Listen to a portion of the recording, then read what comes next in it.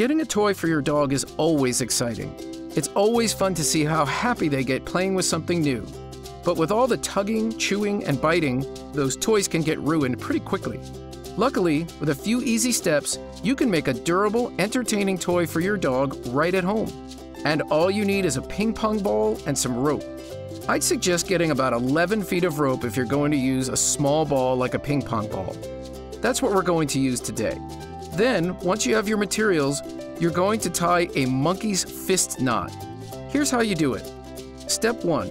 Hold the end of the rope in your non-dominant hand and wrap the rope around all four of your fingers five times.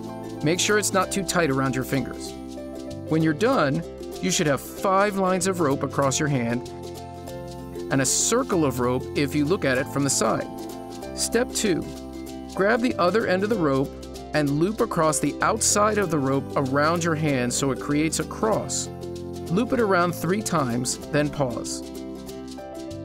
Step 3. Place your ping pong ball inside your rope so it's nested inside. Then continue to loop the rope around until you get to five lines across again. Step 4. The long end of your rope will now be hanging out near an opening. Loop the end through that opening and in through the opposite opening.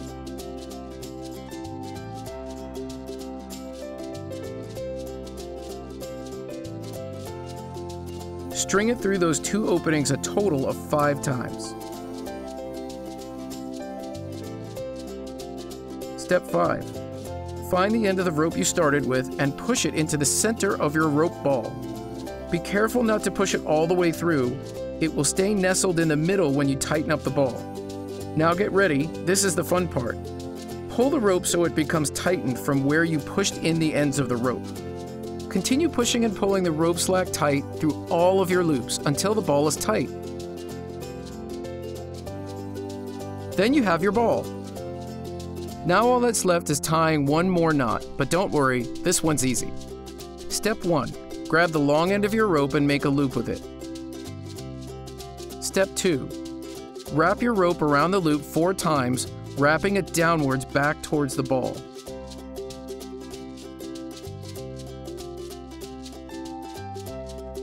Step 3. Stick the end of the rope through the part of the loop closest to the ball. Step 4. Pull the top loop so that the bottom loop becomes tight, securing the rope in it. Step 5, and finally, cut off the long end of your rope. Then you have a toy your dog will love to chew on and chase around the yard. And since it's all rope, it's durable and sturdy, so your dog can enjoy it for a long time. All that's left to do now is have fun.